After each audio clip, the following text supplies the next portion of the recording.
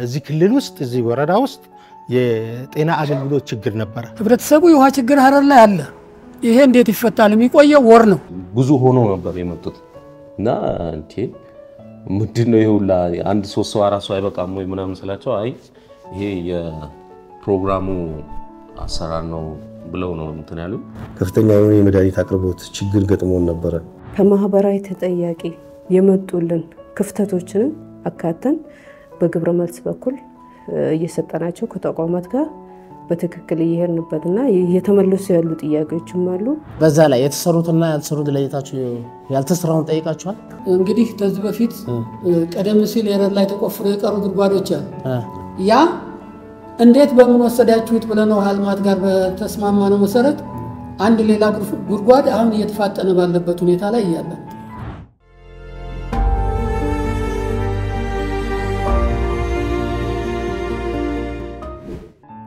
የማህበረሰባቸውን መሠረታዊ ፍላጎቶች ለመቅረፍ በአንድነት የቆሙ የሸንኮር ወረዳ ማኅበራዊ ተጠያቂነት ኮሚቴ አባላት።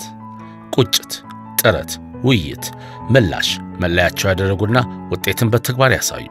ጤና ጣቢያ ያስፈልገዋል። ይሄ ይሄ ወረዳ 80 ሺህ ህዝብ ያለበት ከዚህ ከዚህ በታች ህዝብ ያለበት ሌሎች አካባቢዎች የጤና ጣቢያ ያላቸው ይሄ ወረዳ ለምንድን ነው ጤና ጣቢያ የማይኖረው የሚለውን የማህበራዊ ተጠያቂነት ኮሚቴ ነው ያነሳው።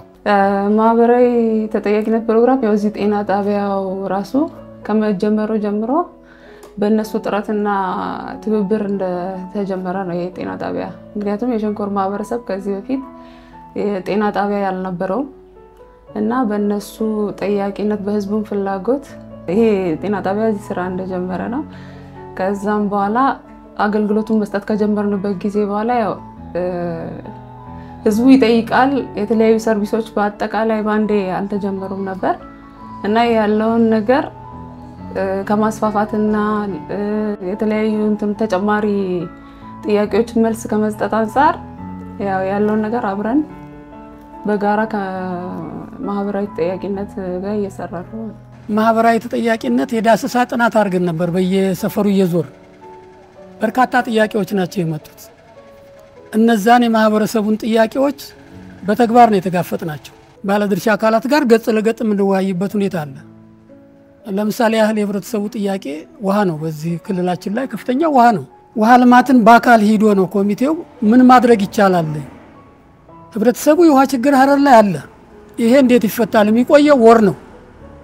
እንዲያውም በዚህ ማህበራዊ ተጠያቂነት የቀረበው የውሃ ፎረም የሚል ኮሚቴ ብታዋቅሩ የሚል ነው ለውሃ ልማት የቀረበው። ይሄ የውሃ ፎረም እንዲታዋቅሩ የሚለውን ኮሚቴ ውሃ ልማት ወዲያውን ያዋቀረው የውሃ ፎረም ሰብሳቢ በአጋጣሚ ነው የተመረጡ። ይዞን ድሬዳዋ ተዚህ 72 ኪሎ ሜትር ሄደ። ያለውን ችግር አየን።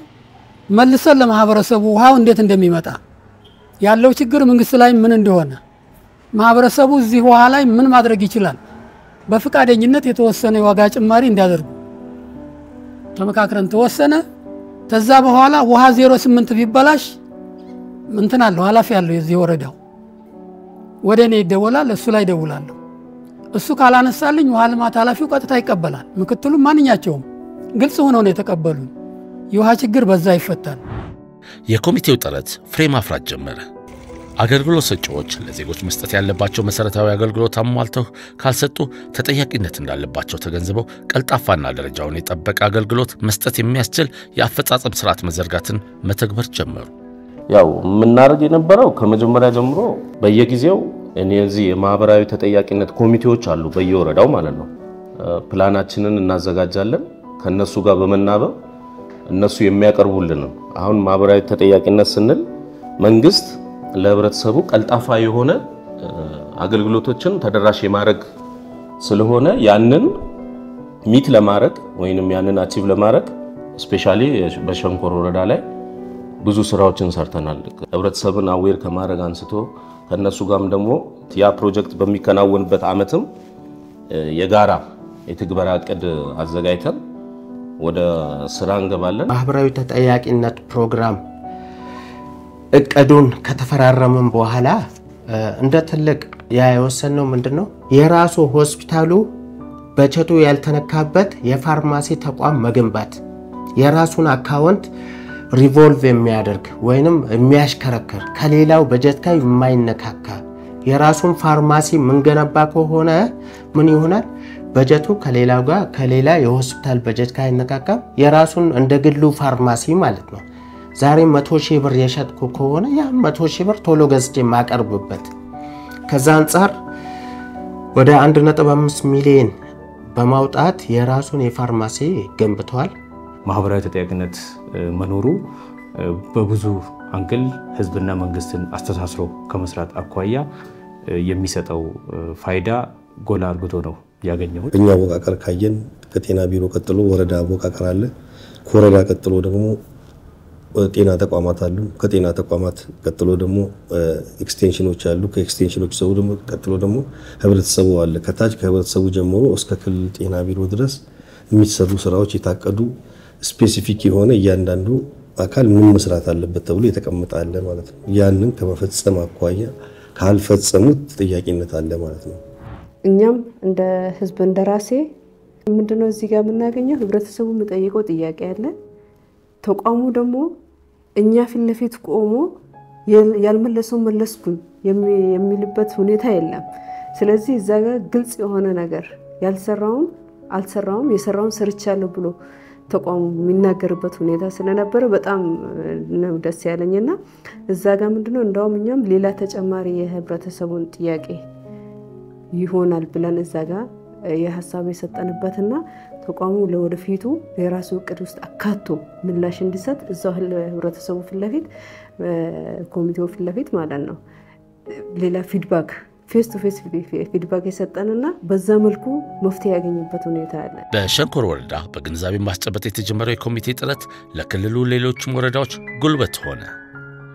ዜጎች በራሳቸው ተነሳሽነት የአገልግሎት አቅራቢ አካላትን፣ ውሳኔ ሰጪ የመንግሥት ኃላፊዎችን ስለሚሰጡት ማንኛውንም አይነት የሕዝብ አገልግሎት አርኪነት፣ ፍትሐዊነትና ተደራሽነት ጥያቄ የሚያቀርቡትና በመፍትሄ አሰጣጡም ላይ በቀጥታ የሚሳተፉበት የአሰራር ሂደት በክልሉ ሊዘረጋ ቻለ።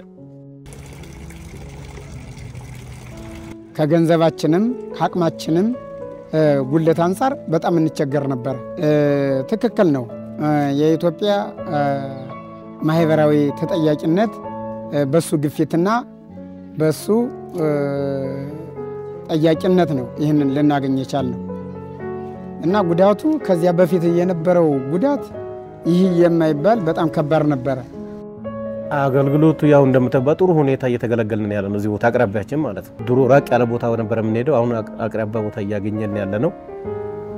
የተመላላሽ አለ፣ የወሊድ አለ፣ ህጻናቶች የሚታከሙበት አቅራቢያ የምናገኝበት ቦታ ላይ እየተገለገልን ያለ ነው ማለት ይችላል። ተስፋ ለህፃናት ድርጅት ማህበራዊ ተጠያቂነትን በ22 ወረዳዎች ላይ እንዲሁም በሀረሪ ክልል በአራት ወረዳዎች ላይ ማለትም ሸንኮር፣ ድሬ ጠያራ፣ ኤረርና ሶፊ ላይ እየተገበረ ይገኛል ማለት ነው። ማህበራዊ ተጠያቂነት በዋናነት የሚሰራ በአምስት የድህነት መቀነሻ ሴክተሮችና በአራት ተጨማሪ ሴክተሮች ላይ ነው። ይሁን እንጂ እኛ ማህበራዊ ተጠያቂነትን ከሌሎች ሴክተሮች ጋር በማያያዝ እየሰራ እንገኛለን። ከዚህም ውስጥ መጥቀስ የምንችለው ማረሚያ ቤትና ወደ ማረሚያ ቤት ልንገባ የቻልነው ማረሚያ ቤት ውስጥ መሰረታዊ አገልግሎቶች ይሰጣሉ እንደ ጤና፣ ትምህርት።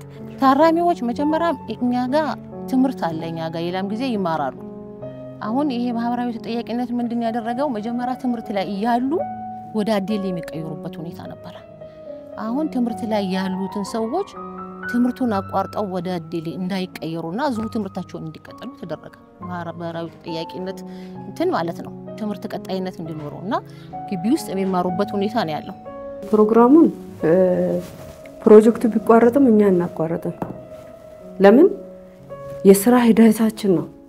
የምንሄድበት distance ህብረተሰቡን የህብረተሰቡን ጥያቄ ለመመለስ የምንጠቀምበት መንገድ እስከሆነ ድረስ ይሄኛውን ከፋይናንስ ቢሮ ጋር specially እንደ በጀትና ፋይናንስ ቋሚ ኮሚቴ ከፋይናንስ ቢሮ ጋር በጋራ በመሆን የበጀት ግልጸኝነትም የህብረተሰቡ መሰረተ ልማት የሚያስፈልጉትን ነገሮችን ቅድሚያ በመስጠት በትክክል ለህብረተሰቡ ጥያቄ ምላሽ እንዲያገኝ አንድ መንገድ አሳይቶናልና በዚህ መንገድ ከተመለሰ የህብረተሰቡን ጥያቄ የምንመልስበት አግባብ ስለሌለ ሂደታችን ስለሆነ በዚህ የሚቀጥል ይሆናል ማለት ነው።